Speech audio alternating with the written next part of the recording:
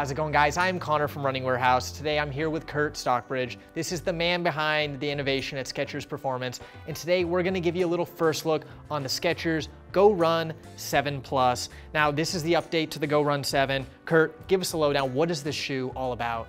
Well, it's always been about having a shoe that's light and flexible and just so you can kind of forget about it. And it's a more of a natural feel. We, the last one, as you recall, here's the Go Run 7, um, did just that. Here we're going to use the same bottom, but you can see the upper is entirely different. We had a flattened upper here. This worked well for a lot of runners, but a lot of runners also want me of a traditional fit. So we look back and where we were most successful with this franchise was right here. If you remember the Go Run 4. This has a circular knit upper. Uh, people are still clamoring for this. This was Runner's World Magazine Editor's Choice that year, I think 2016 or so.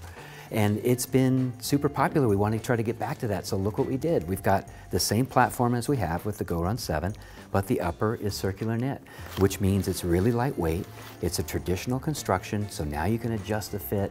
And we try to get back to what's been successful. Again, why not give runners what they want? So that's what, that's what our objective is with the Go Run 7 Plus. Well, Skechers is always giving runners what they want. Looks like with the 7 Plus, we've got the same underfoot feel as the previous version with an updated fit for just enhanced comfort. If you're looking to get this shoe on your foot, you don't have to wait much longer. It'll be available in early spring 2020.